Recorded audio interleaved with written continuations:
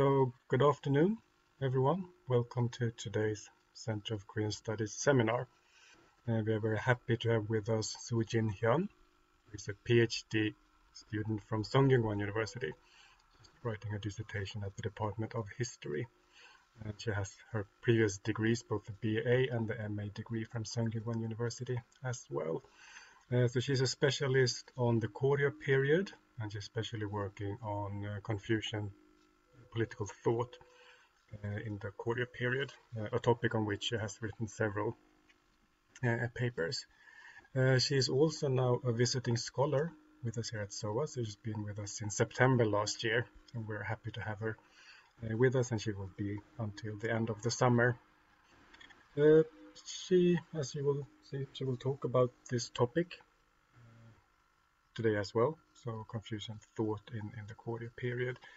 Uh, she will talk for about 45 to 50 minutes, after which we will have a question and, and, and a Q&A period. Uh, if you have any question coming to mind as you're listening, you can put it in the Q&A box. So please don't put questions in the chat box rather than the Q&A box. Uh, and then afterwards, of course, you can you still put the questions in the Q&A box, or if you want, you can raise your hand and, and give your question straight away. Uh, so let's get started. So Soo Jin Hyun, please. I'm looking forward to your talk. Uh, thank you, uh, uh Dr. Karlsson. Uh, so good afternoon. Uh, I'm the speaker of uh, this lecture, uh, Hyun Soo Jin. Uh, at first, thank you so much for attending today's lecture. So actually, I didn't expect that such many people uh, will uh, would come to this lecture. So I'm really happy about that. And I also mindfully appreciate the Center of Korean Studies for giving me this uh, precious opportunity.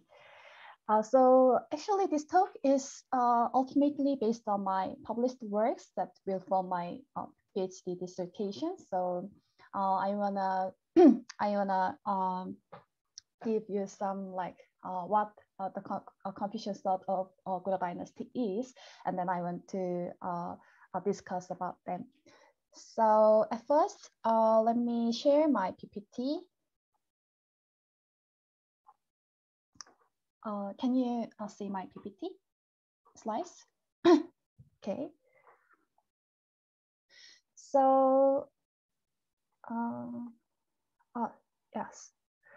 Uh, so I'm going to divide this talk into six parts. So at first, I will uh, I will give uh, you, uh, I will explain my research topic and questions briefly, and then uh, uh, I will I will explain what uh, Confucian thoughts in Goryeo dynasty was and how, how they were utilized in the Goryeo dynasty. Uh, so in the chrono, chronological order from the chapter two to chapter five. So today I would like I, I would like to start our talk with these two images. Uh, firstly, I I would like to ask what your image of Goryeo dynasty is. So uh, uh, it's almost 40 people there. So I can't ask you uh, personally, but uh, and I can I cannot cannot be sure of uh, my your answers, but I suppose that one of, of one of your answers uh, will uh, regard to the, those images, so Buddhism or Taoism. So as you know, uh, Goryeo people have believed in and in and practiced in Buddhism in their daily lives. So they also believed in Taoism and shamanism at the same time. Uh, as you know, Buddhism was the national religion of Goryeo with coexisting practices of Taoism and shamanism. So Goryeo dynasty was uh, was uh, understood, usually understood as pluralistic society. So however, uh, we need to focus more on Confucianism in the Goryeo dynasty. So uh, generally, uh, we regard that Joseon is uh, Confucian, Confucian, uh, Joseon is like Confucian society, and the Goryeo uh, was uh, was the Buddhist society. So uh, generally, uh, we interpreted the, the historical transition from Goryeo to Joseon uh, as a Buddhist society to the the transition of uh, from the Buddhist society to the Confucian society. however, kings and courtiers of Goryeo tried to rule their country based on the Confucian thought. so it brings us to today's topic, the political and social role of Confucianism in Goryeo dynasty. So let me explain my research topic and questions briefly. Uh, so that is my question. And I will especially focus on introduction, understanding, and utilization of Confucian canons and their major annotations. Um, so unfortunately, uh, there have not been many studies about uh, Confucian thoughts in early Goryeo dynasty. It's because uh, previous most of the previous studies uh, have focused on the Neo-Confucianism in uh, dynasty, uh, which were introduced uh, to the late uh, dynasty. so the many studies, many studies evaluated Confucian thoughts of early Goryeo dynasty on the perspective of Neo-Confucianism. So we can observe some anachronistic problems there. And the most important thing is that uh, actually the, the major studies about uh, Confucianism uh, uh in Goryeo, Goryeo dynasty focused on Neo-Confucianism because uh, as you know, Joseon was operated uh, based on the Neo-Confucianism. So the previous studies uh, wanted to figure out uh, how uh, Neo-Confucianism was adopted in Joseon dynasty. That's why they focused on the Neo-Confucianism as the origin of the Neo-Confucianism. however, so, so they they uh, they tried to explain uh, the, the Neo-Confucianism in the late Goryeo dynasty uh, into two groups. So they, uh, they created, uh, they, they uh, found the two, two Confucian groups in, groups in the very late Goryeo dynasty. So one is so-called progressive Confucian scholars, and the other one is the so-called conservative Confucian scholars.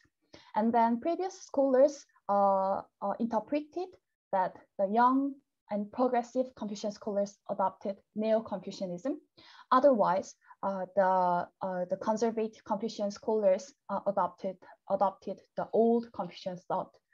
Uh, however, uh, based on the materials, I can observe uh, new, new things that both of them, they read and they accepted and they utilized the old and the new Confucianism Confucian thoughts at the same time. So uh, I can I can make a different uh, perspective uh, of that period uh, from the, the, the transition uh, from the Goryeo to Joseon dynasty.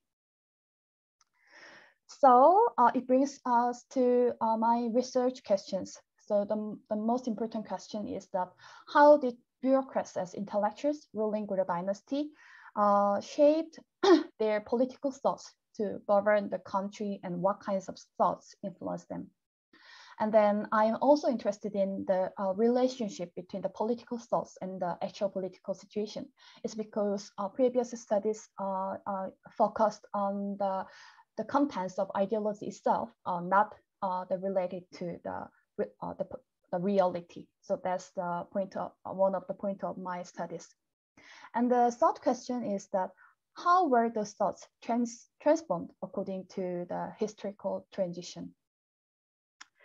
So uh, let's move on to uh, let's move on to find the answer in the uh, in historical materials and history. So the first chapter, the title of the first chapter is Application of Five Classics and Establishment of Confucian Politics. Uh, so I will, I will deal with the period from the 7th century to 10th century. So uh, let me explain about the establishment of Goryeo dynasty first.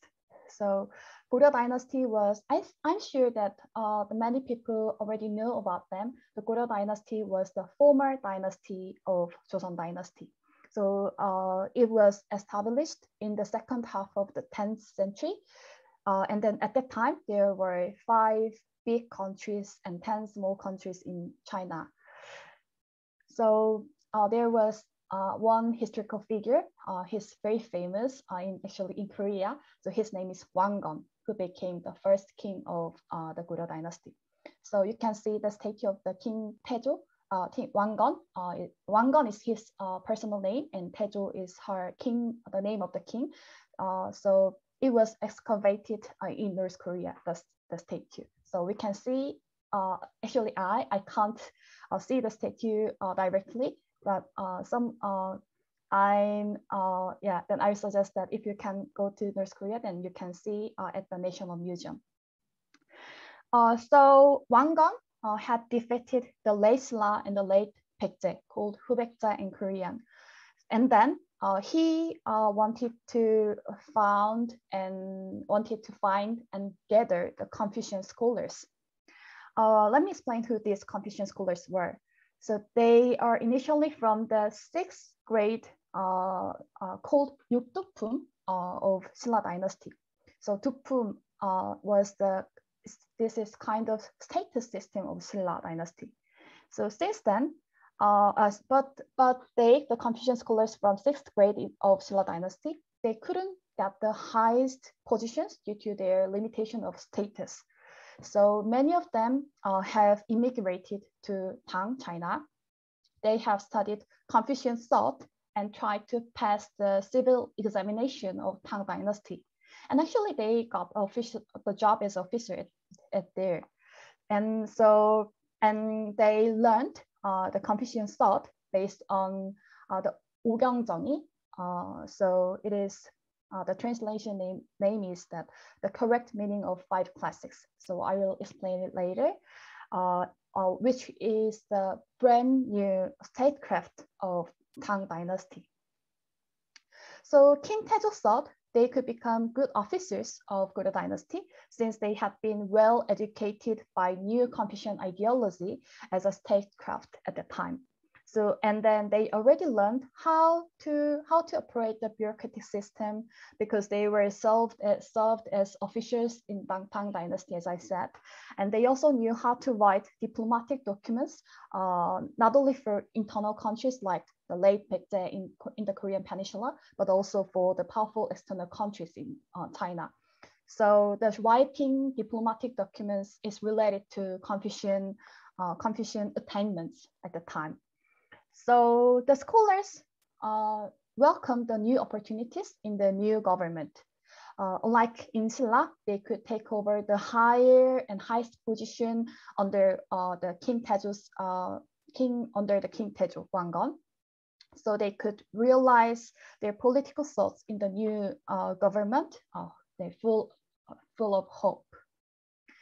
So I, uh, I wanna, uh, I wanna introduce uh, one case of those people, those person. So there is a historical figure called uh, Choi Eung. So he is from Hwangju, and it is located in Hwangju-gun of Hwanghae-bukdo in North Korea now. So and he studied hard when she was young. So he became well versed in uh, five classics uh, when he grew up. So he can uh, he could write both royal documents and the diplomatic documents very well. So he was also good at administrative work. So King Taejo uh, appointed him as one of the new dynasty's officers by highly valuing his knowledge and talents. The Cheung uh, was, uh, as I said, not from the, uh, the capital city, uh, Gyeongju of Silla dynasty. He is from the very far, the region, she, he is from the region, region very far from the capital city of Silla dynasty. This means that he was not the leading noble of Silla. So Cheung could get uh, opportunity to get a high officer uh, uh, like by uh, his own uh, his own ability and Confucian ability. So Confucian scholars who served Taejo and uh, read, uh, they, they uh, learned five classics based on the correct meaning of five classics, Ogyeongjeongui in Korean. Uh, then what is the correct meaning of five uh, classics? So they are basically annotations of five classics. So five classics called Ogyeong in the Korean language are the primary Confucian classics established around the Western Han Dynasty. So five classics consist of classics of poetry called Sigyeong, and book of documents called Sangseo, and book of rites, uh, Yegi, and book of changes, Juyeok, and spring and autumn annals, Sunchu. So those annotations were published according to uh, Emperor Taizong of Tang's order. Uh, and I'm sorry for my Chinese uh, uh pronunciation, but please understand me. So Emperor Taizong uh, has designed a vast imperial country. He also tried to renovate the institutions and flourish the culture. So compiling law and strengthen, strengthening the civil examinations show his great interest to rule the big imperial country in a cultural way. That was why he ordered famous scholars to collect previous Confucian classics and put commentaries on them. As a result, his new son, the third emperor of Tang Dynasty, uh, have completed this work and published the annotations. annotations. So that is the, the correct meaning of five classics. So it contains the annotations of Han and Tang's scholars. The emperor designated the classics as textbooks of the civil examinations and educated the books at the national school called Kukak after that, the books were distributed to other East Asian, East Asian countries and became a canon of Confucian thought. So actually, it is not uh, directly regarded uh, to my uh, topics, but um, Ogyeong Jeongui, the correct meaning of five classics, were distri distributed not only Korea, uh, uh, uh, the, where the civil examination was exist, but also Japan uh, uh, so in Japan, there wasn't uh, the civil examination. So at there, the Buddhist monk, monk accepted the, the, the introduced the correct meaning of five classics and they uh, read uh, and they cited uh, the these Confucian classics with a Buddhist uh, Buddhist uh, classics. So that's very interesting.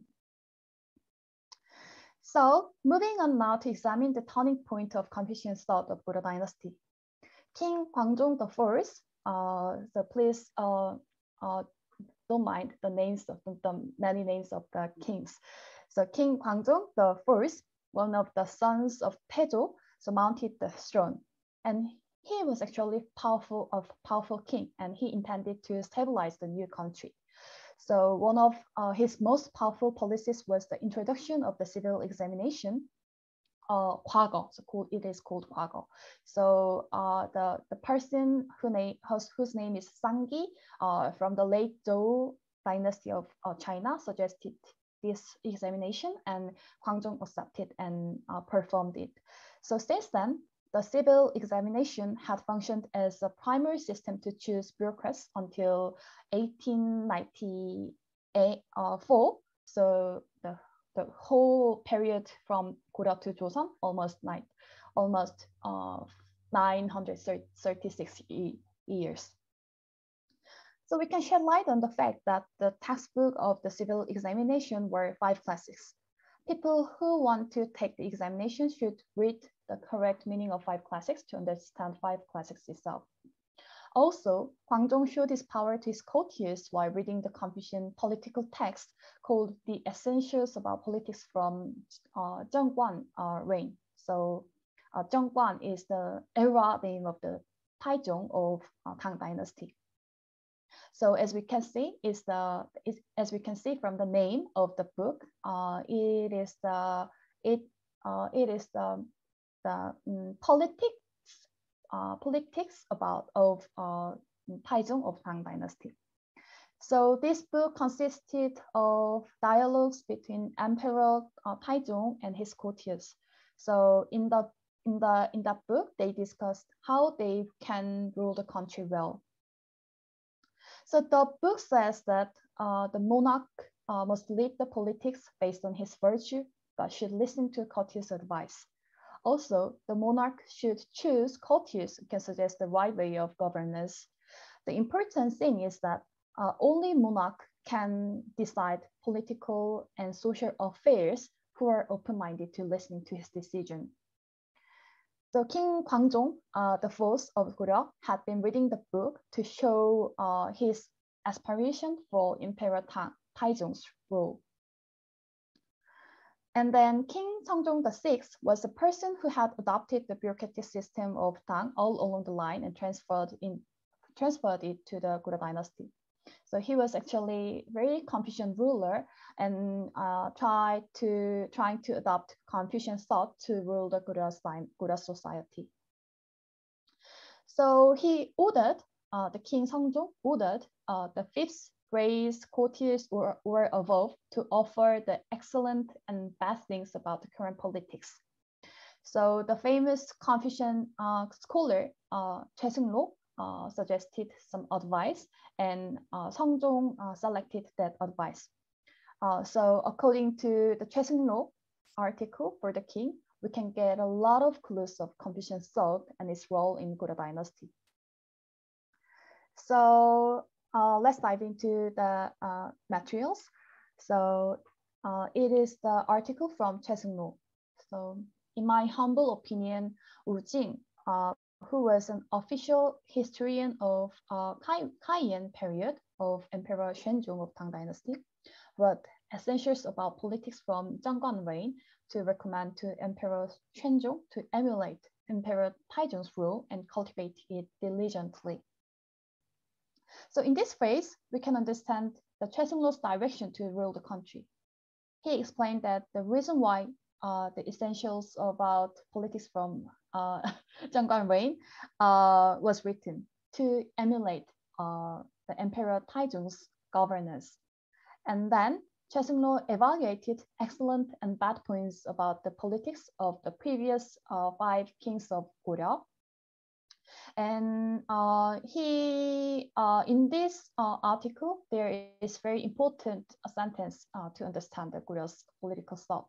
So he said, uh, conducting uh, Buddhistic teaching is the basis of cultivating myself, and conducting Confucian instruction is the source of governing the country. So this sentence shows the clear role of Confucian thought in the Goryeo dynasty to rule the con that is the rule the country. So the thought was based on Confucian thought of Tang uh, Taizong, uh, and and then the, the his politics, that the emperor's politics, uh, were uh, were um, were in the the, the, the text the the correct meaning of uh, the five classics, and then uh, the essentials about politics from Zhenguan uh, reign. So let me move on to the next part of the presentation. So in this part, I will examine how Confucian thoughts were utilized in Goryeo dynasty in earnest. First, people of Goryeo intended to utilize Confucian ideas in the political space. So then uh, we can ask how they were used and who used the thoughts and what situation were Confucian thoughts used in, and what's the intellectual basis of Confucian thought at the time. So I will try to figure out the common uh, utilization of Confucian thought, focusing on 10th to uh, 12th centuries when the typical util utilizations were formed. So we can observe five uh, the several types of uh, uh, several several ways to utilize Confucian classics, Confucian thoughts. So uh, the most important thing is the citation of five classics, and I will talk about later uh, soon. And then the other thing is that uh, they they uh, they used uh, the five classics uh, uh when they want to establish institutions or policies. So they want to model after the uh, institu institutions or policies from the five classics. And uh, so they means that ruling class of Goryeo, the kings and courtiers. And then sometimes king, uh, kings of Goryeo displayed a folding screen with phrases from five classics uh, at the court. So this image is, is folding screen, but uh, not in Goryeo Dynasty because uh, it's gone. Uh, it, does, it, it doesn't exist anymore. But uh, like this, uh, they wrote they wrote the phrases uh, of five classics and they displayed at the court to show to to be seen for everybody. And some kings uh, uh, bestowed five classics to courtiers. So I will, uh, I will uh, tell you the reason why uh, soon later. Uh, so the most frequent, frequent form of utilization of Confucian thoughts were citing specific phrases in Confucian classics by kings and courtiers. So when kings and courtiers suggested political opinions, they cited particular words of Confucian classics and their annotations. Uh, especially they prefer uh, that uh, prefer the phrases regarding the, their own situations. So they, they chose a similar situation uh, for them uh, in the five classics. so, uh, so uh, yeah, let's dive into an example for our better understanding. So King Munjong uh, is the king uh, in the 11th century. So he ordered, uh, according to the book of documents, that is the uh, that is the one of the five classics. Food only time matters.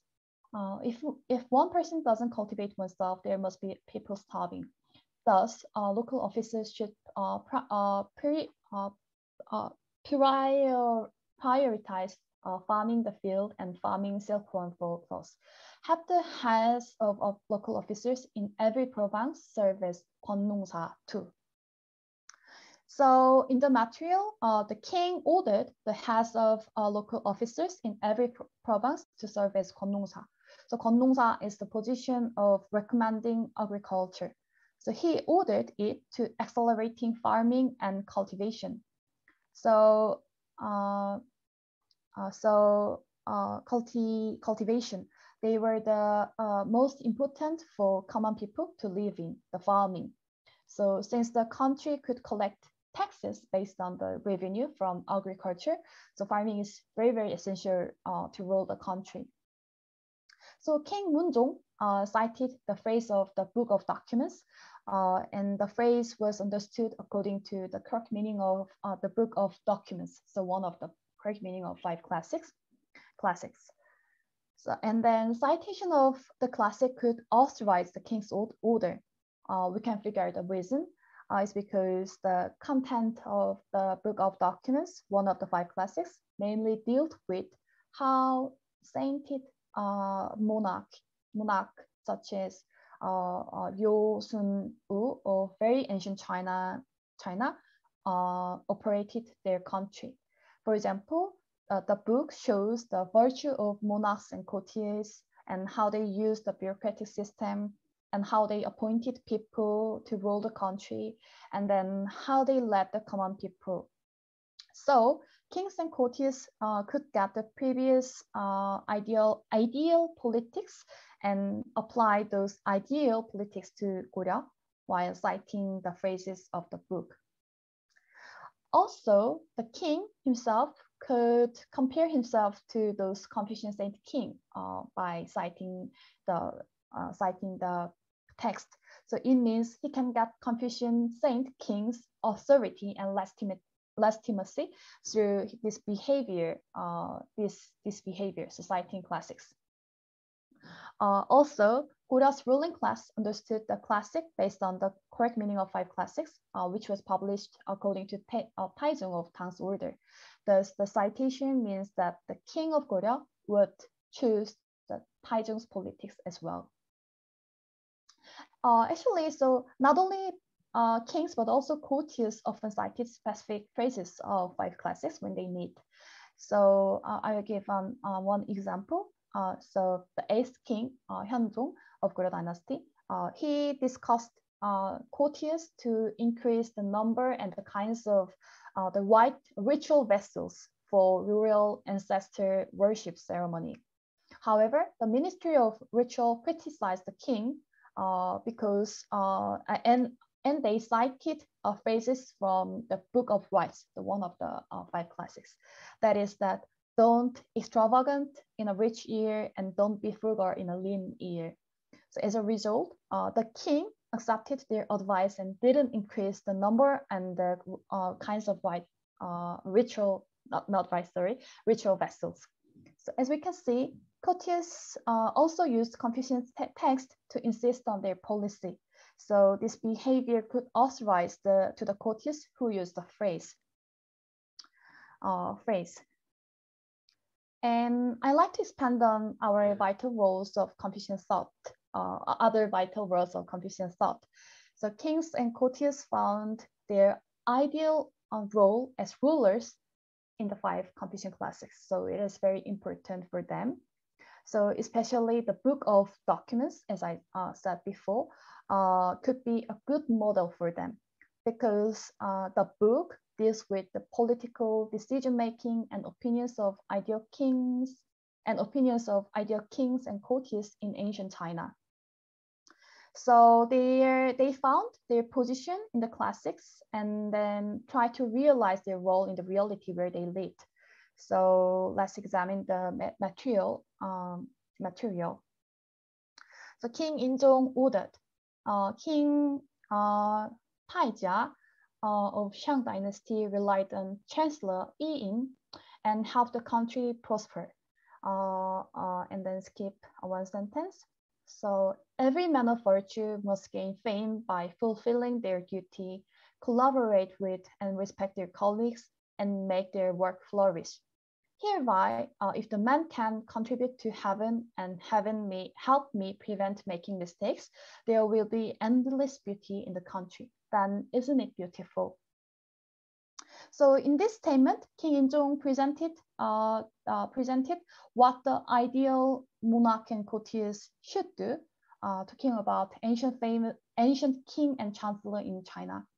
So um, he made an example of the ideal king and chancellor with King Taijia and Chancellor Yi in uh, episode. So I will explain a little bit more about the Taijia's uh, story. So King Taijia uh, was the king of Shang dynasty in the in the ancient China about BC 16th centuries ago. So and then he was a grandson of King Tang, uh, the the great king. So King King Tang uh, was the person who eliminated a tyrant uh, Jie uh, of the Xia dynasty and then established Shang dynasty. Uh, as a result, Tang, uh, the king Tang the Great, uh, had been regarded as the sainted king who saved the common people's life. So Yi Yin was the wise chancellor of him and helped him establish the new country, Shang dynasty.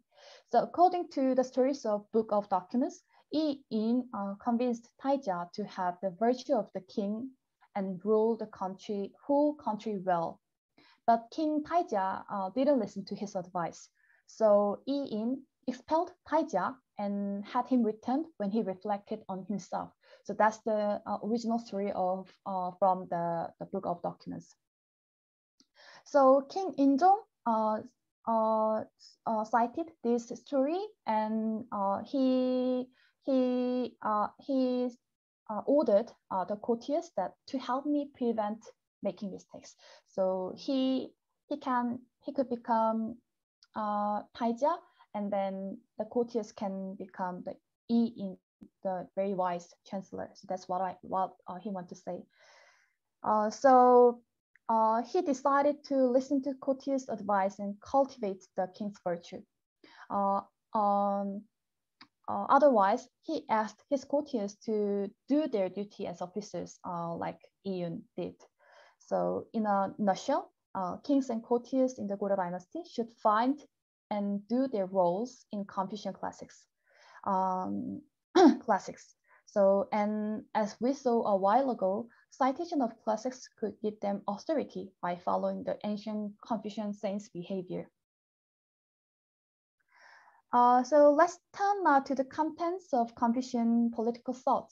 So I think, I suppose you already caught the uh, brief gist of the thought uh, because we examined. Uh, so uh, Confucian thought in the Goryeo dynasty was based on the correct meaning of five classics and essentials of our politics, which reflected the political thought of Emperor Taizong, uh, Taizong of Tang dynasty. and we can figure out uh, through the classics that uh, Confucian thought at that time was uh, a statecraft.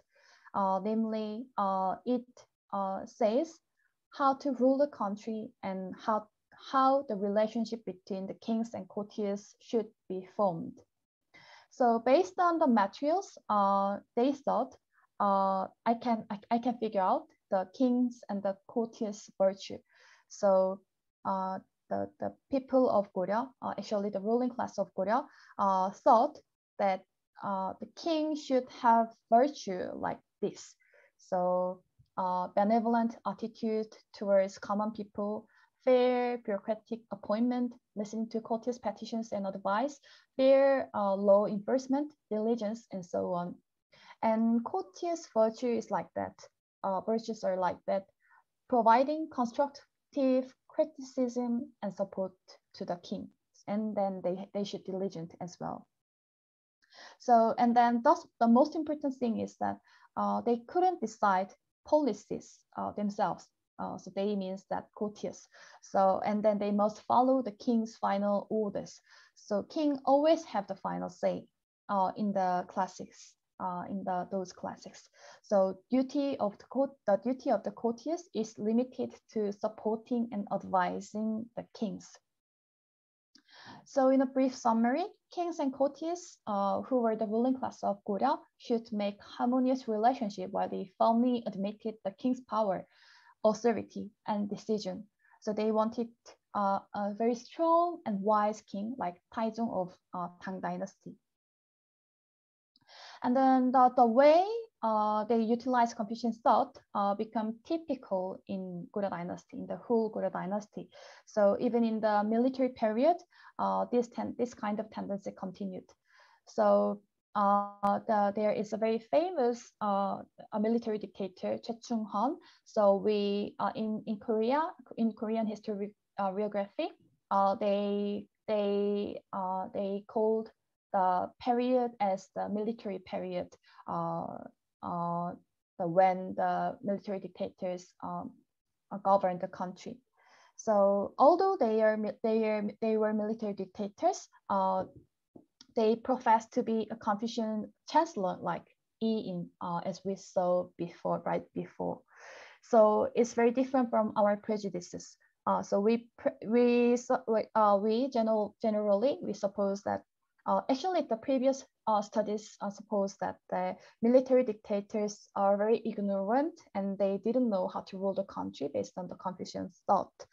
But uh, however, uh, he, the Choi Chung-heon, the military dictator, uh, compared himself as a Confucian scholar and an officer at the same time.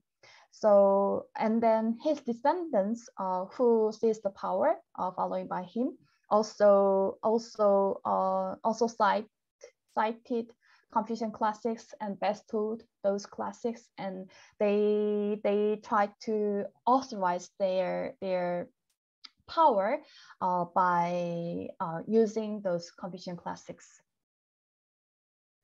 So let's move on to the next chapter, the coexistence of old and new Confucian thought. So Confucian thoughts, uh, uh, political and social uh, role changed from the Mongol domination in the late, late uh, 13th century.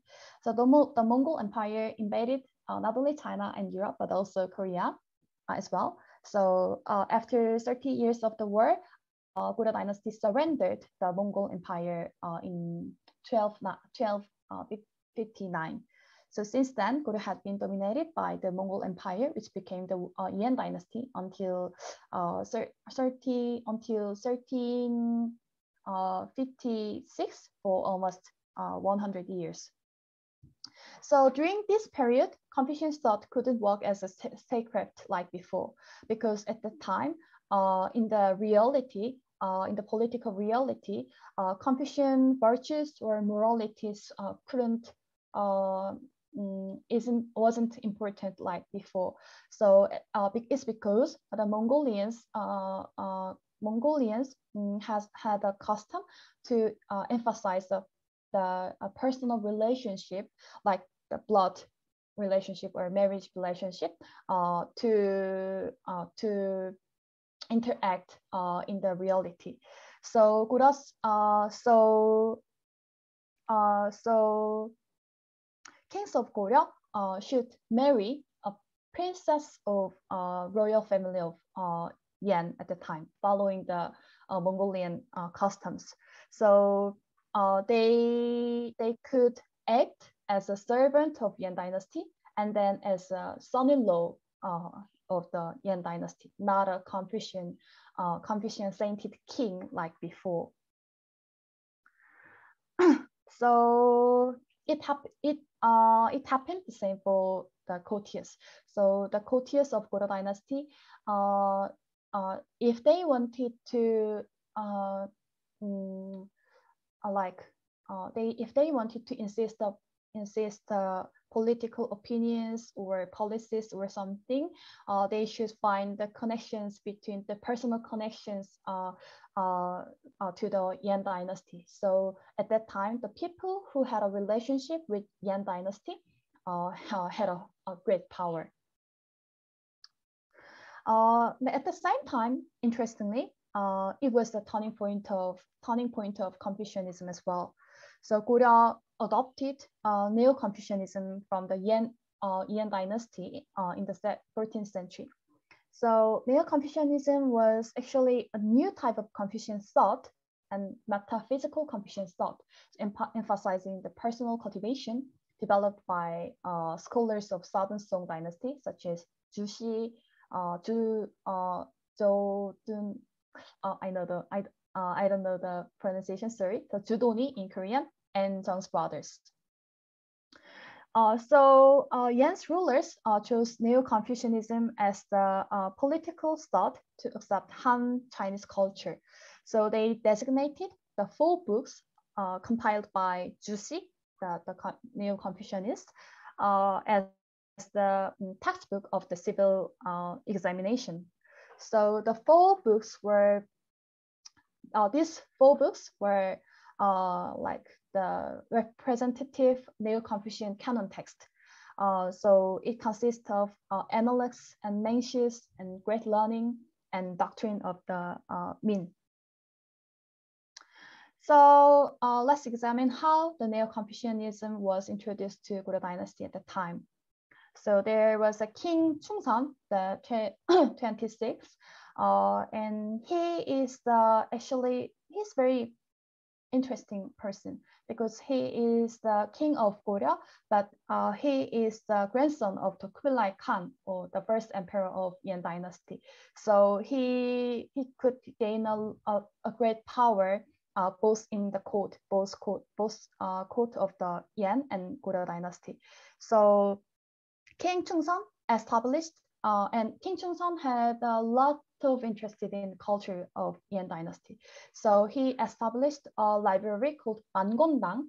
So it means that the uh, 10,000 book, uh, the building of 10,000 books uh, in uh, Yanjing, so Beijing at the uh, Beijing nowadays. And he collected uh, and uh, he collected precious books and he invited uh, famous scholars of Goryeo and Yuan dynasty, uh, the dynasty so the scholars from multiple regions gathered, studied, and discussed Neo-Confucianism.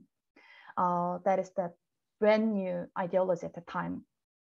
So prominent, prominent scholars like uh, Goryeo, of uh, prominent, prominent scholars uh, of Goryeo, like Lee Jae-hyun or Park Chung-jae, Park Chung-ja, uh, studied Neo-Confucianism there and transferred uh, new ideology to Goryeo's intellectuals.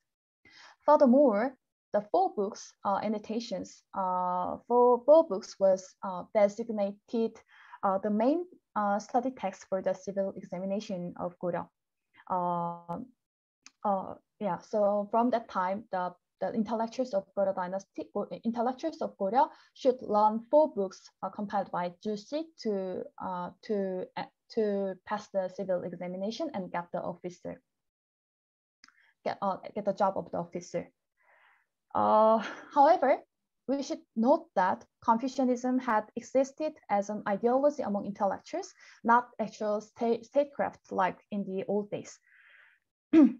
so uh, after King Gongmin the 31st uh, ascended, ascended uh, the word changed because uh, when dynasty power was weakened and then and then King Gongmin himself couldn't have enough power to rule Goryeo as the king because he didn't have uh, enough basis or power uh, through the marriage relationship between Yuan dynasty.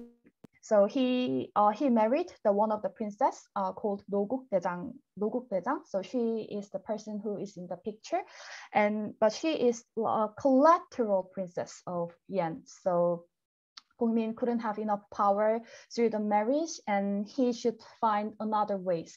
So the way, uh, uh, the way uh, to way of uh, uh, the, uh, so uh, so he chose the same way to of utilizing utilizing Confucian thought as they did in early Goryeo to show his authority as the king of Goryeo, so not as the servant of uh, Yuan dynasty.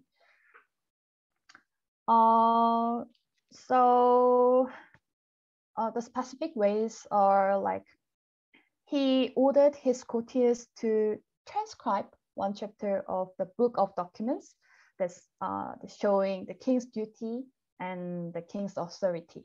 And he also held royal lectures again, and he read the, the five classics and then hung up the classics in the court to reveal his will about the Confucian rule. So that's the uh, how uh, he wanted to show his power to the courtiers. As a result, old Confucian thoughts as statecraft and Neo-Confucianism as ideology could coexist uh, during this period. So let's go to the last chapter, so new ways to utilize Confucian thoughts. Uh, so uh, the King Gongmin uh, was assass assassinated, and then uh, his son King Wu uh, got a throne. But at that time, when he got a throne, Wu, King Wu, he was just nine years old, so he was so he couldn't rule the country like the previous kings. And besides, an influential courtier called Yi Inim seized the power at the time and commit, committed political and social economic corruptions. And King Wu, uh, unfortunately, uh, he he was he he didn't have interested in ruling country. Instead, uh, he was mad at hunting, raping women, and then the banquets, holding banquets like that. So some courtiers strongly warned the king and strongly recommended that he should concentrate on the ruling country. However, King Wu didn't listen to his courtiers' advice. Uh, instead, uh, he teased and punished them. Uh, so King Wu made a trap in the field and put his teacher uh, in uh, on purpose. So that's what the king did. And uh, so at that time, uh, intellectuals continuously learned Neo-Confucian classics such as four books compiled by Zhu Xi. So many young scholars studied and discussed uh, old and new annotations. So the the the Han the, the Confucian text from the Han Tang dynasty and then Neo-Confucianism together. Uh, so the most uh, popular scholar at the time was Yi Saek. So he taught Neo-Confucian classics to uh, young people like Kwon So-jong, and Chung Do-jeon, and so on. And some of them uh, was uh, some of them uh, supported Lee Seong-gye, who became the first king of the Joseon dynasty. So you can see him under this portrait. So Lee Seong-gye to establish a new new country, Joseon. So finally, King uh, Wu was expelled in 1388, and then they uh, uh, be, right before that, right before uh, that time, uh, uh, King Wu uh, and his close courtiers tried to attack the Chinese Ming dynasty and ordered uh, it to General, General Yi Seong-gye. So Yi Seong-gye is the, the name of the, the, uh, the Yi Seong-gye is the person who became the first king. And then, but he diso disobeyed the, the order and returned his army at Wihwado. So you can see the map. So it's very close to China. So uh, at there, he returned to his army. So it's like, uh, yeah, so it's like a rebellion, it's a coup. So, and uh, had a tactician group consisting of young scholars uh, who studied Neo-Confucianism. So the young scholars couldn't find hope in the current political situation and found another choice to rescue their country. So they enthroned King Chang, uh, the son of King Wu, and then uh, right after the army's retreat. And Yi Seong-gye's group wanted to find tactics to criticize their political enemies now. So mainly they wanted to throw out people like Yi Saek, so who were the are not in favor of Yi Seong-gye, and they wanted to kick out King Chang again. So they found tactics to perform their political ambition in Neo-Confucianism. That's what they chose. So uh, Yun Sojong and Jo Jun uh, were the main people who established this tactic. So they they decided to use uh, they decided to Confucian use Confucian legitimacy to eliminate their enemies and uh, furthermore expel the king. So they forged a diplomatic document from the first emperor of Ming Dynasty and put a phrase of spring and autumn annals. So uh, I I hope that you can remember that that is the, also the one of the five classics. So we can see the phrase of uh, the uh, the spring and autumn annals, uh, uh, what they uh, chose in the document like below. Uh, so the king's descendant was gone after King Gongmin's murder. Although King Wen Chang forged the surname of Wang and became kings, it's not a good custom to be protected passed down. In the old days, a person who was called enemy murdered his monarch, monarch because the world was full of king's uh, villainy. Among people who murdered the king, there were people who ruled the country benevolently. Thereby, they turned heaven's will and made public content, although they were Nanjin Jokja. However, Buddha has not been peaceful until now because courtiers involved in discrete uh, mechani um, uh, mechani machinations and deceived people again. So uh, they uh, in this uh, material, uh, we can see that Yi Seong-gye's group uh, forged this document in two ways. So one is to claim uh, that King Wu and Chang, that King Wu and Chang were not the descendant of King Gongmin, so King Wu was actually suspected to be the son of a monk of power, Sin Don. Uh, uh, actually, it's a very inter interesting uh, story because uh, King Gongmin was not like uh, not uh, uh, not uh, King Gongmin was actually a gay, so he he he couldn't uh, he he he didn't want to uh, make a relationship with women. So that's the uh, that's the uh, why the rumor, the kind of rumor was uh, uh, revealed at the time. And then the the, the other way is uh, to criticize traitors as the phrase of Nanjin Dokja. So we should focus on this word Nanjin Dokja. So Nanjin is basically um, Nanjin means that the the means that uh, the courtiers who killed the, uh, their king. And Tokja means that uh, the person who killed their parents. So uh, this uh, phrase, this word, Nansin Dokja, was actually a phrase that comes from the commentary on Mencius, uh, compiled by Zhu Xi, comp compiled and annotated by Zhu Xi.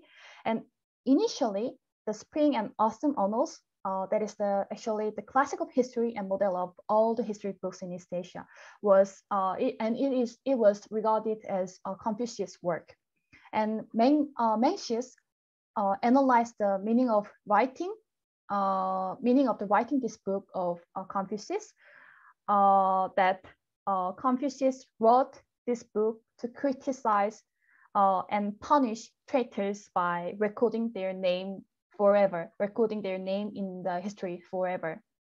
So that's the Mencius interpretation towards the spring and autumn annals. And to see, uh, reinterpreted this phrase again his annotation.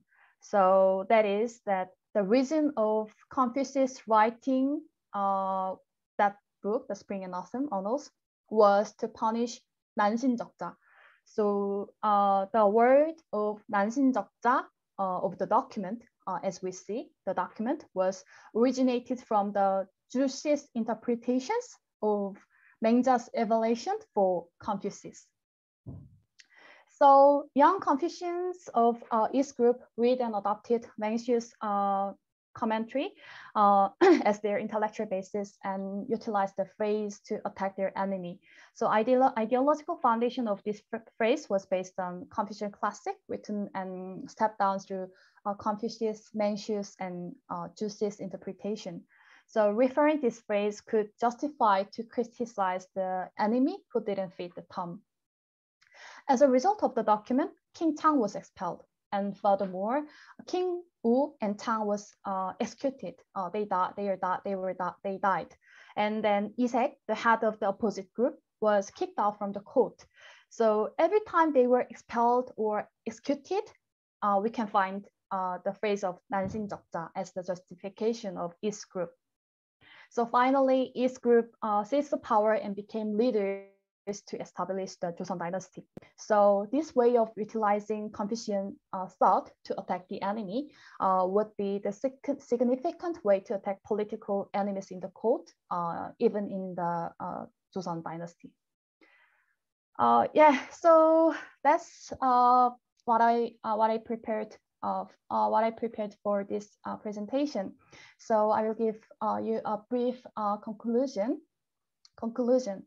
So when we think about the Confucianism, in actually we generally we think about the Joseon dynasty and the Neo Confucianism. Then the neo the, the Confucian cultures and politics of just Joseon dynasty, uh, where where the Confucian cultures of politics uh, and politics of Joseon dynasty came from came from. Uh, is it originated from Joseon itself or not? So actually, it it didn't, as we see. So uh, from the uh, Goryeo dynasty, Confucianism, Confucianism, Confucian thought was used in the reality all the time but the contents and the basis of the Confucianism was different depending on the period and the text. So uh, at the time when Goryeo was established, there wasn't there uh, the neo-Confucianism didn't exist. Uh, instead, uh, there was a Confucian thought based on the Han and Tang's um, uh, Tang's politics, especially the Taizong's uh, politics. So uh, that is uh, that kind of thinking was in the, the, the text uh, called uh, The Correct Meaning of Five Classics and the, uh, the Essentials about Politics uh, from Jeongam, Jeongam period of Jeongam period. Uh, so after uh, domination, Yuan's domination, uh, Confucianism, Confucianism as a statecraft uh, weak, uh, was weakened but uh, the, uh, the Neo-Confucianism as an ideology introduced to Goryeo dynasty. And then intellectuals of Goryeo, the late Goryeo, learned both of the Confucian thought. However, in the very late Goryeo dynasty, the, new, the young Confucian scholars who studied Neo-Confucianism, they, uh, they chose some phrase and they utilized their phrase to attack their enemy. So, uh, so the way to utilize the Confucianism was, was changed uh, from the, the early Goryeo dynasty. And this type of uh, the way the the way to utilize uh, uh, utilize to Confucian thought uh, would continue to Joseon dynasty. Uh, yeah, so that's uh, uh, that's my uh, conclusion. And uh, thank you again uh, to come and listen to my uh, presentation. So please feel free to ask whatever you are curious about. Thank you very much. Thank you, Soojin. It's a very interesting talk, and as you you, you rightly say, on a, topic that has not been covered so much. Uh, so I have learned a lot, uh, and I'm, I'm sure there will be questions. Uh, actually, in the beginning, uh, Andrew had a question, so asking about the uh, the difference between Neo-Confucianism and Confucianism. You, you, did talk about that later on, uh, the kind of metaphysics with Neo-Confucianism, etc. But I thought maybe we could still delve on on that kind of difference. I mean, because you, you said that you think that one problem when studying early Goryeo Confucianism is that scholars do that with a Neo-Confucian mindset so, so that they don't separate between the two of them. So more in kind of concrete terms, in, in terms of political thought, or actually in terms of, of actual policies. Well, what would be the difference then between that kind of pre Neo Confucian Confucianism of early Goryeo and uh, later period and, and into the Koryo uh, sorry into the, the Choson period. Oh, okay. Thank you for a very interesting uh, question. Uh, actually, that's the uh, main point of my research, my future research uh, project. So now I don't have like the firm conclusion, but I can give you a brief uh, idea, the rough, yep. rough idea uh, uh, of mine. So I think the they have a common uh, basis uh, as Confucianism itself. That is the like the the characteristic of uh, as a statecraft. So the pre-Neo-Confucianism and Neo-Confucianism, both of them, uh, they they provide some uh, provide uh, some uh, ideas about how to rule the country. So that's the that's very important. But uh, uh in Han and Dang's Confucianism, so pre-Confucianism, they actually focused on actually they, they focused on the to interpret the the old classics uh, characters itself. So they they try to figure out the meaning of the uh, meaning of the, the characters itself and then phrases itself. So they are obsessed with that uh, to to interpret uh, the characters, uh, and and then uh, and uh, and otherwise, uh, the Neo Confucianism has like the metaphysical philosophical uh, philosophical characteristic and mm. they focus on the personal virtue of, uh, of each each uh, literatist so uh, uh, that neo, in the in neo-confucian thoughts uh, the every literati should have uh, Confucian virtue and they have to uh, like they they uh, they have this virtue in their deep in mind. Uh, so that's the very distinctive uh, characteristic of Neo-Confucianism. So in my thinking, in early Goryeo dynasty, uh, there there wasn't uh, the concept uh, about the like the, the each person's the morality and uh, virtue. So at that time, the kind of uh, the, the utilization to attack the enemy didn't exist. That's why I, I think about that because uh, in the Neo-Confucian thought, uh, the each person ha- uh, must have a Confucian virtue. So if they don't have the virtue, then they can be attacked by the, the logics of the Neo-Confucian thought. But, but before that, uh, they didn't emphasize the the personal virtue and they just they just uh they just provide the how to rule the country and what the kings and courtiers behave not the their not not the, their uh not they not they didn't focus on their uh, deep mind itself. So i think that's the that's the distinctive characteristic of uh, those two kind of uh, the Confucian uh, thoughts. Yeah I, and thank you yeah, I'm not sure I can answer well, but yeah, please. no, no, that's very interesting. I mean, of course, attacks on personal virtue would be very prominent when we get mm. into the Joseon dynasty. Mm, yeah, that's right. Yeah, that's right. That's right. So, uh, please questions in the Q and A box, uh, and if you want to give Sujin your your your your, your question live, please raise your hand. Uh, I have a question from uh, Chanhee Lee. Uh, and it's, related to sources. So, thank you for the great presentation. I would like to ask if there are any other evidences for the political application of Confucianism beside Koryosa, and Koryosa then being the history of Koryo that was compiled in the beginning of, of the Chosŏn dynasty. So, so what other kind of sources could we use to, to know more about how Confucianism would have been applied?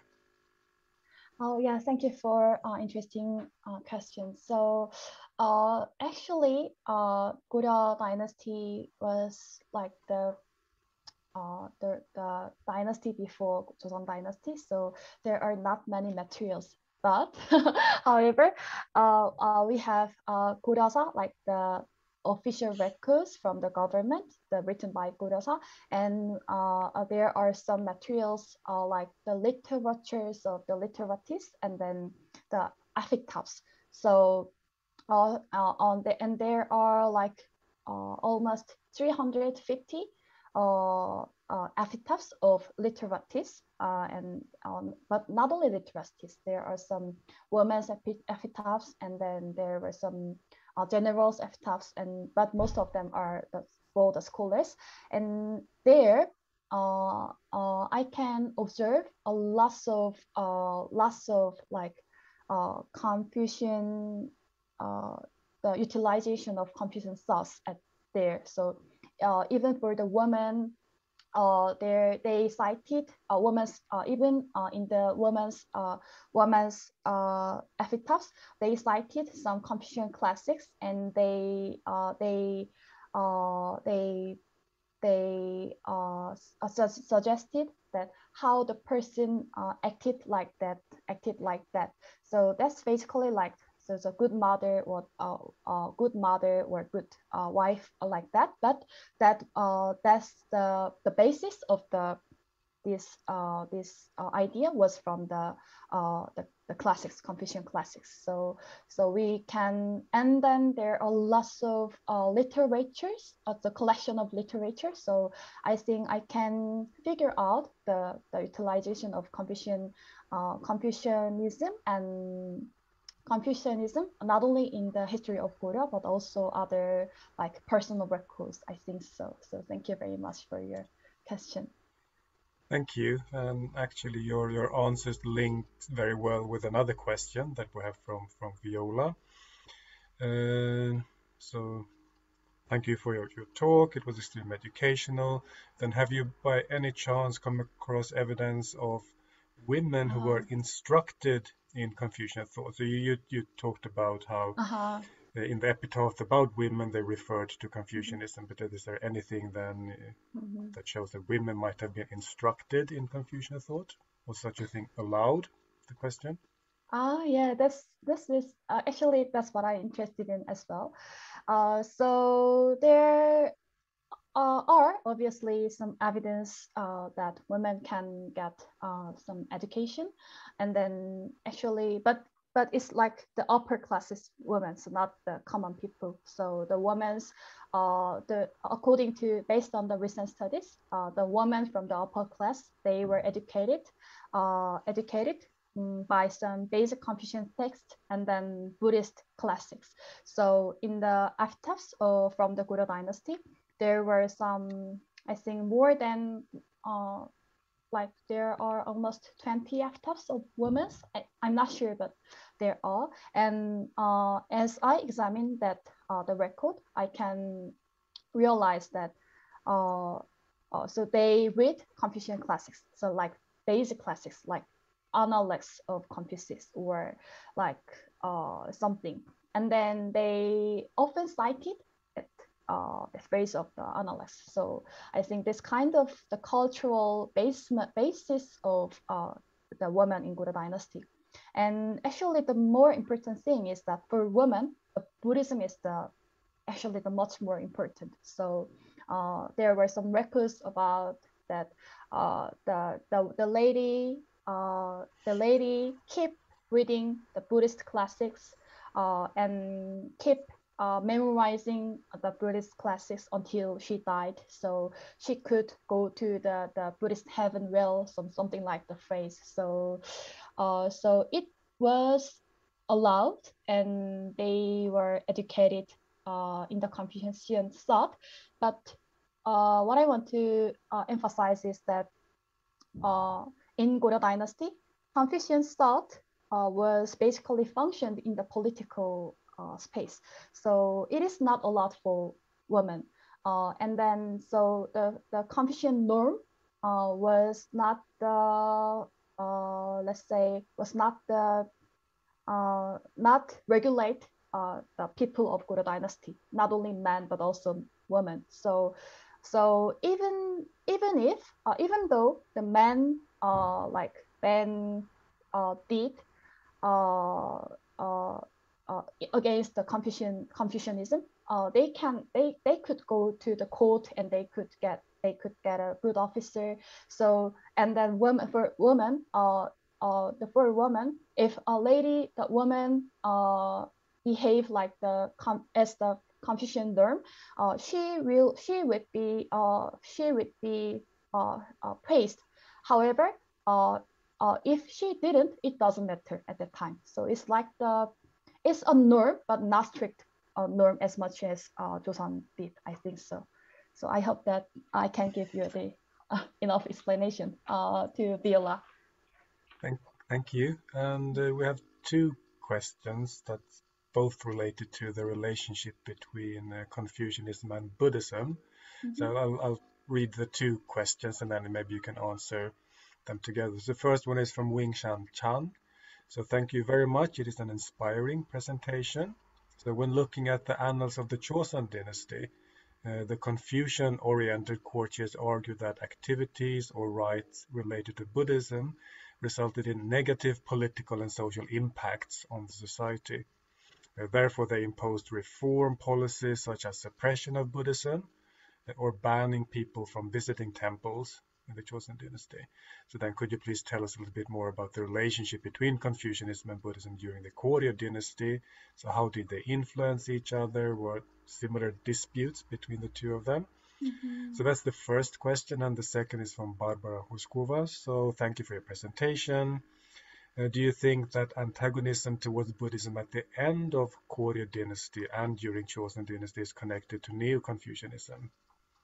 Uh, it seems during Goryeo those two are in some sort of symbiosis, or is the antagonism derived from political situation rather than ideological?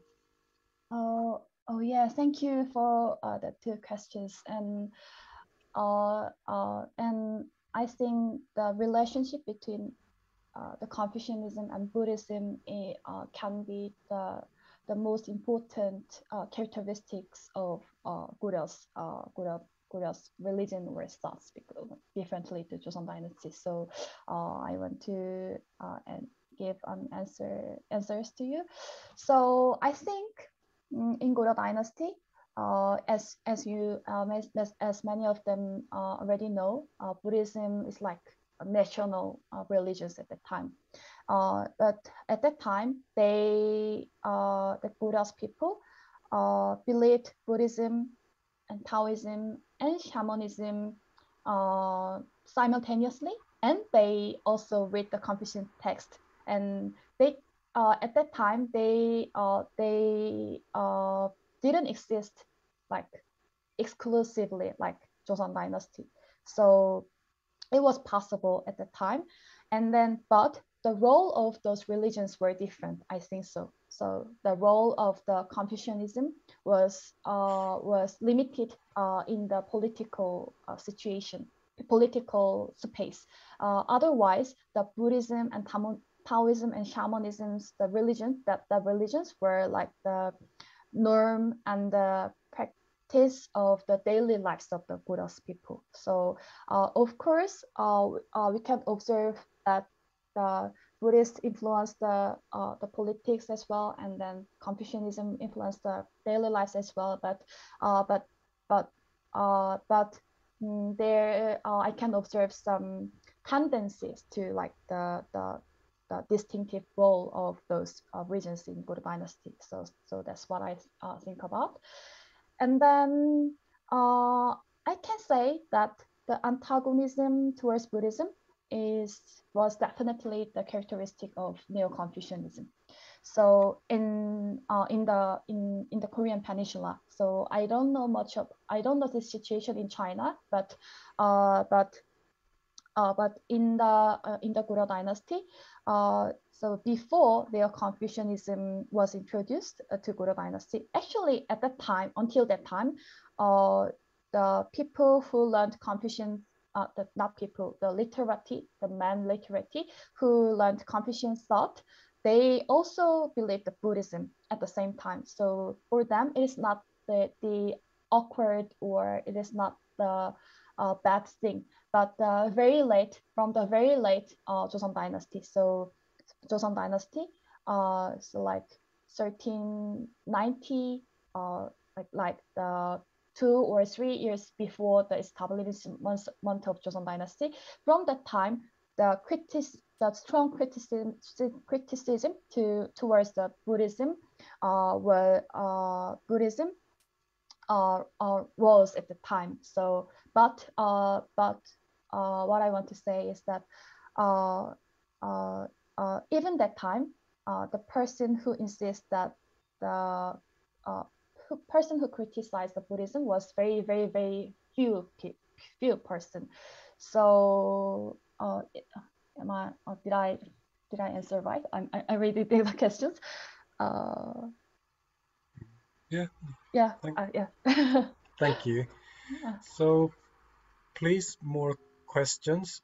As I said, you can raise your hand or put question in the Q&A box. And as you are typing, I, I had another question. It's interesting you said that even in the the military period, mm -hmm. it, it, seems that the, the, military leaders were versed in, in Confucianism and, and they, mm. they used that in their statecraft. I mean, if we look at the Joseon dynasty, I mean, applicants in the, the military exams, mm-hmm. they would have been tested in, in Confucianism mm, as yeah, well. I mean, right. Are there any indications, do we know from the Goryeo period, was it part of military training or would they have been tested as well in, in Confucianism? Uh, actually, there uh, was uh, like the military exam examination at once uh, in the 12th mm. century, but after that it was uh, uh, demolished. So there was there was no like the official way to learn Confucianism for the military uh, military generals or military soldiers, but uh, but uh, through the record, uh, I can observe that observe that uh, some military officers from the high classes uh, learned Confucian classics like women, like uh, women I said, so basic hmm. uh, classic uh, Confucian classics. So they didn't uh, study the like five Confucian five classics, uh, which is very very difficult. Uh, like the other uh, scholars uh, who want to, to pass the pass the civil examination, but they learned the very basic Confucian classics at the time but uh, the, the of the military soldiers from the lower classes who fight like in the at the front of the war, they didn't uh, they didn't learn the Confucian classics. So so uh, I want to say that uh, in the military uh, period of Goryeo dynasty, there uh, there there were uh, a few uh, military dictators, uh, like Yi Yuimin or like Yi Bang, so they were from very low class and they didn't know the characters or they, they didn't know that actually they were ignorant, uh, but they couldn't uh, uh, rule the country uh, for a very, uh, uh, for a long time because they tried to suppress the courtiers by the by the strength, but it it it couldn't exist longer. So Choi Chung-heon and Jung-bu is from very high class. And actually, Choi uh, uh, was, I think Choi uh, he knew uh, the like the he is he was very good at to uh, see the situation. So uh, as soon as he got the power, uh, what he did uh, was to like suggest the advice for the king, like Choi. So and and then uh, he uh, although the reality is totally different, uh, he he suggested that the position as Confucian scholars, uh, although he's he was the military general, and then he want to advise. Uh, he he uh, chose the way to advise for the king, although he tried to do whatever whatever he wanted. So yeah. Mm. Okay. Uh, are there any more questions?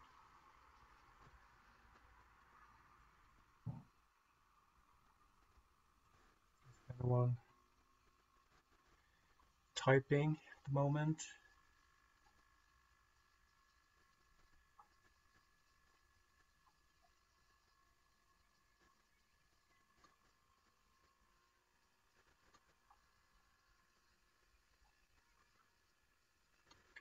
see.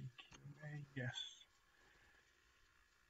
So it's a question from Richard, Richard mm -hmm. King. So, so what drove the adoption of Neo-Confucianism? Uh, was it adopted first and then used to attack people, or was it adopted because it provided a justification to attack people? Uh, and was it adapted and utilized for this purpose? So what, what drove then the adoption of, of Neo-Confucianism? Uh, okay. Uh, I think um, at first uh, they adopt uh, the Neo-Confucianism uh, as a new fancy like ideology. So in the Yuan period, uh, the kings and some of kings and courtiers they uh, they wanted to accept the Yuan dynasty systems and institutions and cultures, and because at the time the China was the the Yuan dynasty was the like the central uh, of the culture. So uh, so uh, at that time, uh, Yuan dynasty's uh, rulers uh, uh, adopted the Neo-Confucianism uh, as the as a statecraft to rule the country because they they couldn't they couldn't consist they couldn't continue the way they the the way they did before. So that's why they adopted the Neo-Confucianism. So at that time, in the like the scholastic uh, scholastic uh, field, the academic field, uh, the many of scholars uh, tried to discuss and discuss uh, the Neo-Confucianism.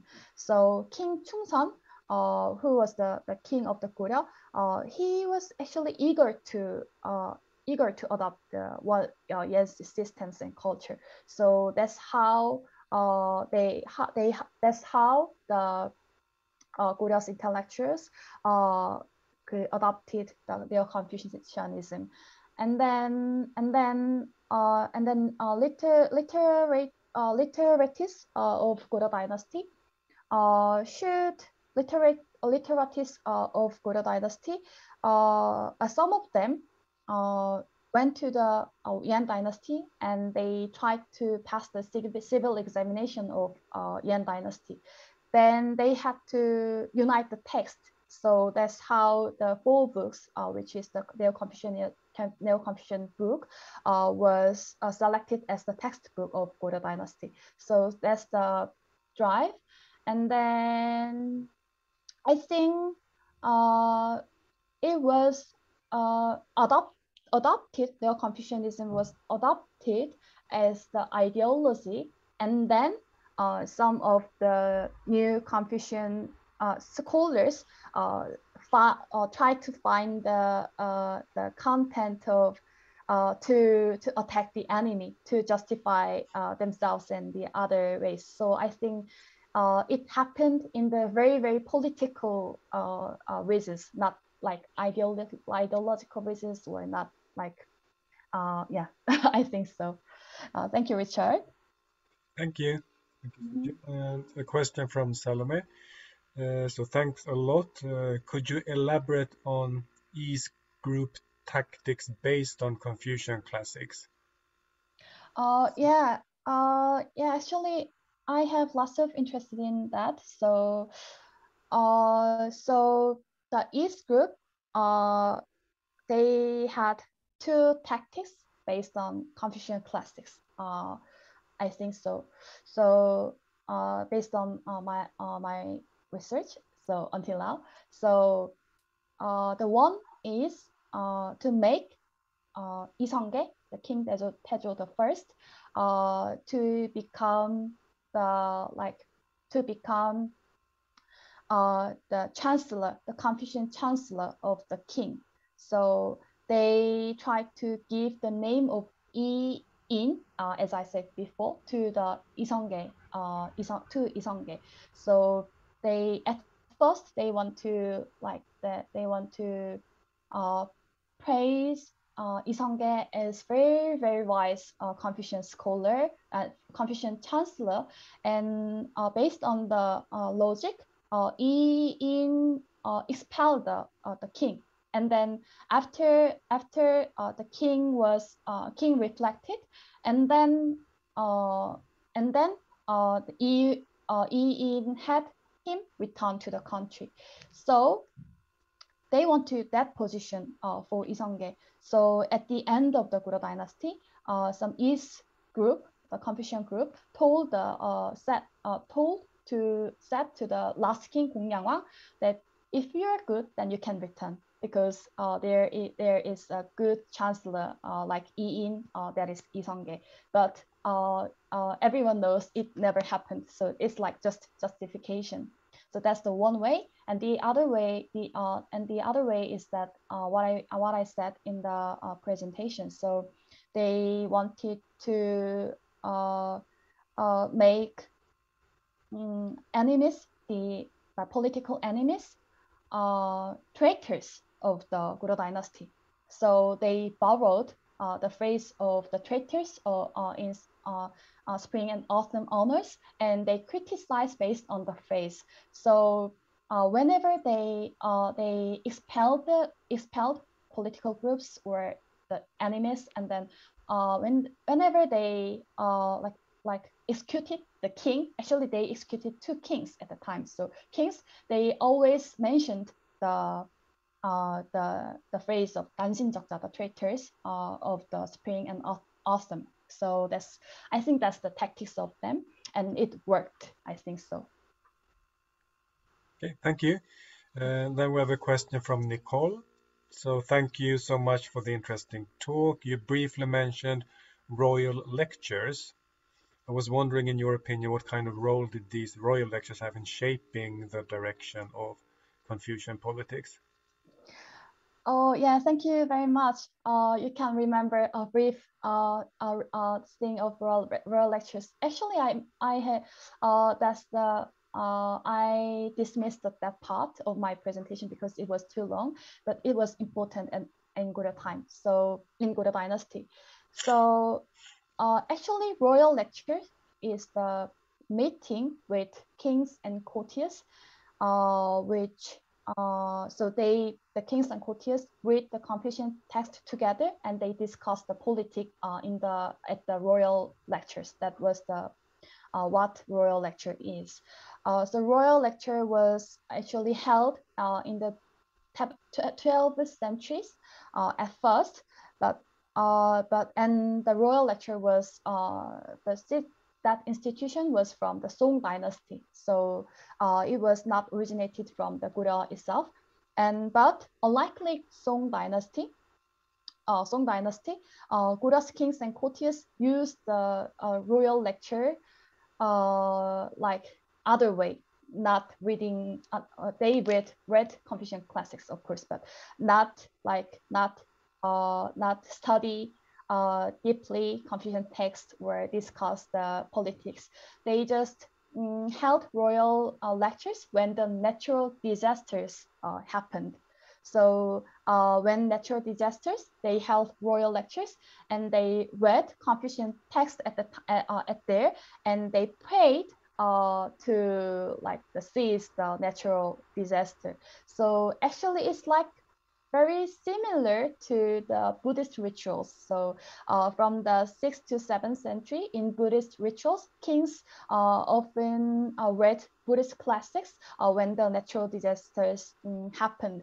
So uh, I think the, the kings and courtiers of Buddha dynasty, they chose the, the royal lectures uh, to solve the natural disaster like the Buddhistic way, not the Confucian way. So I think uh, actually for them, uh, the royal lectures were not uh, uh, a point, uh, not uh, important thing to like shape the Confucian politics. It's like just a show or performance to authorize or legitimize the king's uh, king, uh, king, king or courtiers uh, uh, uh, uh, yeah, power. I, I think so. So uh, if I have time, then I will deal about that the thing and I then I can I can like uh, I can show the relationship between the Buddhism and Confucianism in the Goryeo dynasty well. I think so. So thank you for your question. Thank you. Uh, we have another question from uh, Wing Shan. Chan. So it has often been claimed that there were less restrictions imposed on women during the Koryo dynasty, and women could enjoy many privileges such as freedom of movement, easy interaction uh, between men and women, and remarriage, etc. Uh, but I wonder if there were any regulations or law only imposed on women during the Koryo dynasty. Uh, okay, thank you very much, uh, uh, Chan. Uh, uh, please, uh, I will turn the light on. Uh, sorry. uh, uh, yes, thank you very much for your questions. So, uh, I think, yeah, they, uh, as you said, the, the women in Goryeo dynasty could remarry and they could inherit uh, some some uh, some properties from their uh, uh, from their uh, fathers or mothers, and then uh, actually they could uh, after marriage the men uh, moved to woman's house and they lived together, and then after they gave birth, uh, they will uh, they will move in their own own house. So after 10 years to 12, 12 10, 20 years to of the marriage, uh, the son-in-law will live together, will live uh, with his wife and his like mother-in-law and father-in-law together. So it's very different. Uh, and then, uh, and there were, uh, but however, uh, there were uh, regulations or laws only imposed on women during Goryeo dynasty because in law codes, uh, Goryeo actually, I think the many studies uh, said that uh, there were not like the court law of Goryeo's Goryeo's own court law, like Joseon's or Gyeonggukdaejeon or something. So they borrowed uh, the uh, law code from the Chinese uh, dynasty so at first it was um, Tang's law, and then uh, in the middle of the century it was the Song's law, and then uh, in the at the end in the uh, late Goryeo dynasty it was the Yuan's law, and then they used some like cases together. So they they uh, when they uh, have some law uh, they have to they have to deal with the law things. Uh, they use both of the system. The one is the court law, and then the other is the case, the actual cases in Goryeo dynasty. But uh, uh, uh, I think I think uh, many people know, but in in the court law of the China, uh, there are some regulations of law were laws uh, for the women. Uh, so like uh, or some like uh, some regulations about the divorce or something. But uh, in Korea, I think although the law was existed, existed, but uh, the the reality was different. I think so. So uh, because they can remarry or, or something, and they can divorce or some divorce. So uh, I'm I'm actually I'm not expert about the law or like the woman's status, but uh, I think uh, I think there were regulations about um, about the about uh, almost about the marriage, but the but the it well the the reality was different. So yeah, I'm sorry that uh, I'm not the expert about that. Thank you very much. thank you, thank you.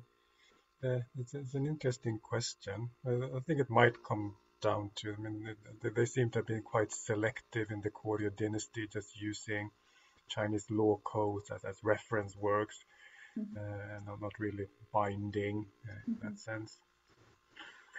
Uh, okay, I think that was the last question. So uh, thank you so much. So just very interesting. a lot of question. I guess you're, you're feeling tired now. I'm okay. I'm very. Uh, I'm so happy that uh, I uh, I received a lot of questions. Yes, and uh, very informative and very informative answers. And uh, thank you all for coming and, and listening to this talk. And I hope you all have a good Friday evening. Okay, thank you everyone. Thank, thank you. you. very much. Bye. Bye bye. Thank you.